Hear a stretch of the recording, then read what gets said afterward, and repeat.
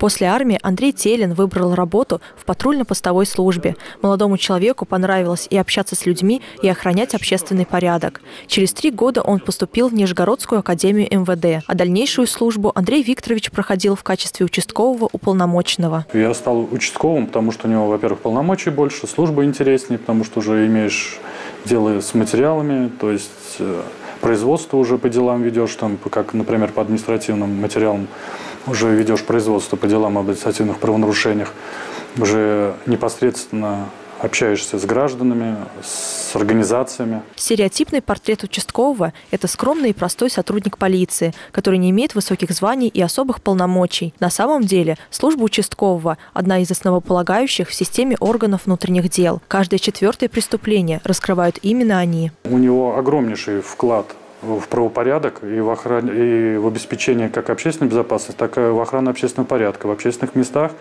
и на любых там массовых мероприятиях. Плюс миллионы, наверное, по стране семейно-бытовых конфликтов разрешается участковым уполномоченным. И только благодаря им, их работе у нас не совершаются тяжкие и особо тяжкие преступления на бытовой почве. В опорном пункте участкового почти не застать. Охрана общественного порядка на своей территории, раскрытие преступлений – это далеко не основные задачи сотрудника. На нем лежит большая нагрузка и ответственность.